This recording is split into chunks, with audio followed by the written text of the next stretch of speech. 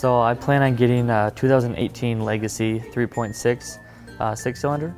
So something with a little more power, uh, black on black, black leather, interior, moonroof, have a little bit of style in there as well. I drive a 2016 Subaru Legacy. I like it because it's sporty, it's roomy, and it great, gets great gas mileage. And the sound system is pretty good in it. I have a 2013 Impreza. I've had family members that have had them uh, my whole life, so I've always liked them, and I finally got my own. I drive the Impreza. I was uh, driving a 2001 Camry for years and years, and then after so long, Tina said, I'll give you the really good deal on our last 16 Impreza, and I said, okay.